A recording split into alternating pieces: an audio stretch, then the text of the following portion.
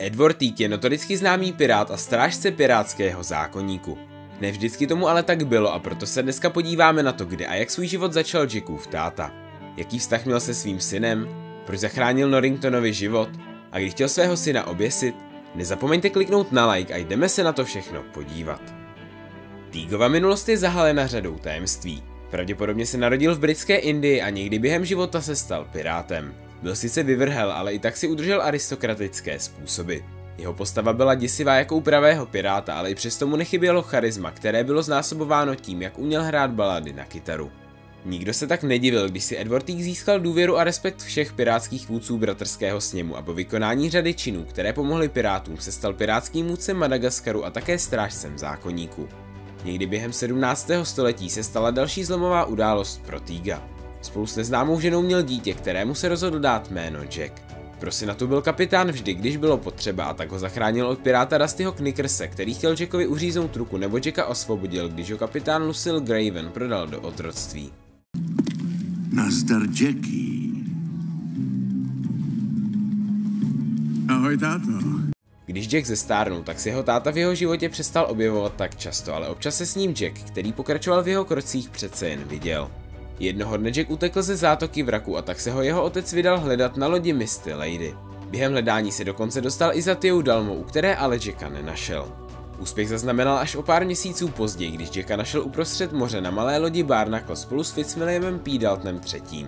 Oba tak vzal na svou loď, ale Misty Lady byla v zápětí napadena flotilou britského královského námořnictva pod vedením admirála Lawrence Norringtona, jehož syna Jamese známe z pěti pirátských filmů. Komodore Norringtone, mé věci, prosím. A klobouk.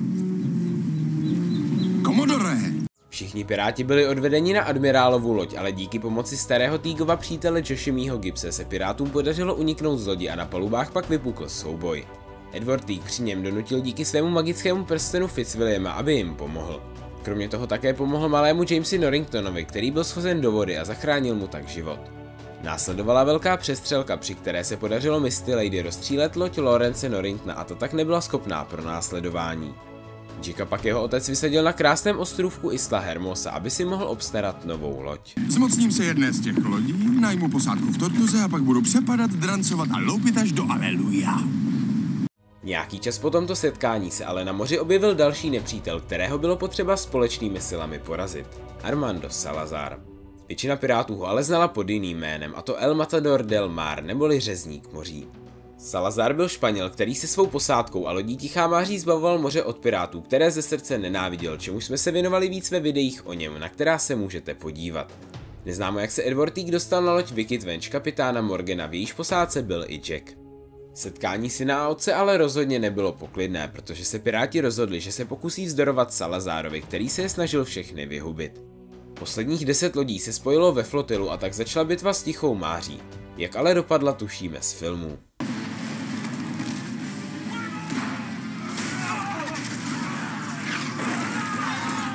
Všechny lodi kromě Wicked Venge byly rozstříleny a protože byl kapitán Morgan zasažen, tak se rozhodl přidat svou pozici právě Jackovi. Ten se tak před očima svého otce stal kapitánem a místo útěku se rozhodl přelstít řezníka moří. Jack, který byl novým majitelem kompasu, se tak rozhodl, že loď navede směrem k ďáblovu trojuhelníku. Salazar si samozřejmě nemohl nechat ujít příležitost, ve které by zničil poslední část posledního pirátského odporu a máří proto venč následovala.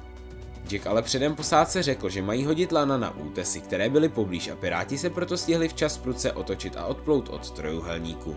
To se ale nedalo říct o tiché máří, které nezbylo nic jiného než vplout do trojuhelníku, kde čekala posádku smrt a loď úplné zničení.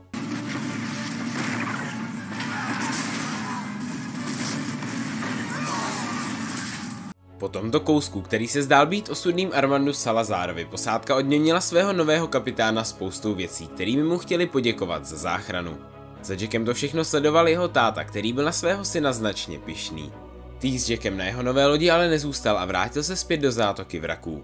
V čase ale se svým synem spojil a pluli spolu na lodi Troubadour, která Edwardovi patřila.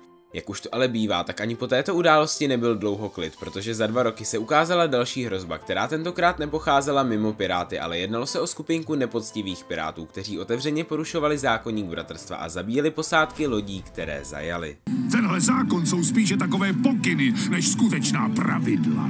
Vítejte na palubě Černé perly. Týgovým úkolem jako strážce zákonníků proto bylo vyšetřit tento případ. O šest měsíců později se proto sešel bratrský sněm ve městě Vraků. Mezi účastníky byli kromě Týga a jeho syna Jacka také Don Rafael, Dona Esmeralda, Boris Palachnik, paní Čingová a Eduardo Villanueva. Vůdci se shodli na tom, že musí s těmito piráty bojovat, protože jinak hrozí, že mocnosti jako Británie nebo Španělsko vyhlásí válku pirátství, což nikdo z nich nechtěl. Další motivací pro porážku nepoctivých pirátů pak byla výpověď Hektora Barbosy, kterému zničili loď Cobra.